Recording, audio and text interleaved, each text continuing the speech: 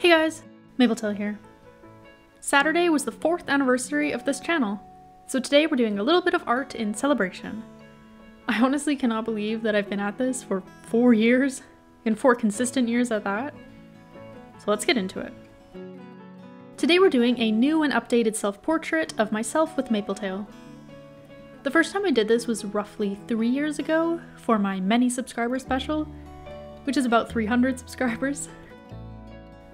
Mapletail's design hasn't changed much, but I've gotten several new tattoos since then, so I wanted to make sure to draw those in.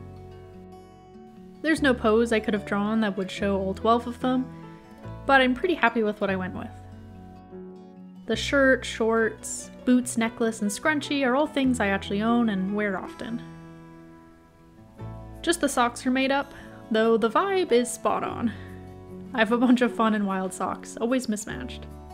Got all my spots and freckles in as accurate as I could, and my chronic tired eyes.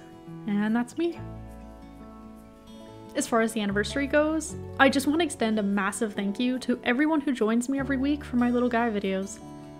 Whether you've been here from the start, four years ago, or you've joined somewhere along the way. I really, really appreciate the little community we've created here with our mutual love of warrior cats. I don't have anyone in real life who's caught up with the series, so it's been so wonderful to have people I can talk to about every new book. I also very much appreciate the love and support on my non-Warrior Cats content too. Warriors may be my focus here, but I have a lot of other interests that I like to talk about and make art for sometimes. And there's only so many things to say about Warriors when I'm making a new video every week. Before I head out, I want to talk a little bit about plans for the future too. Next month is Pride Month, so I'll be continuing my Pride Month Warrior series for all of June. I'm super excited to get back into that. And hopefully everyone's parts for the purple map I'm hosting will be finished by then too. I'm looking forward to see it all come together. Think we're only waiting on the last 10 or so now?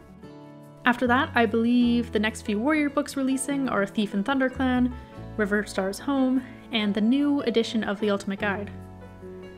I'll be reviewing all of those as usual, and talking about any new information as it becomes available. Same goes for any other books announced. I definitely want to continue my video game fan art series too.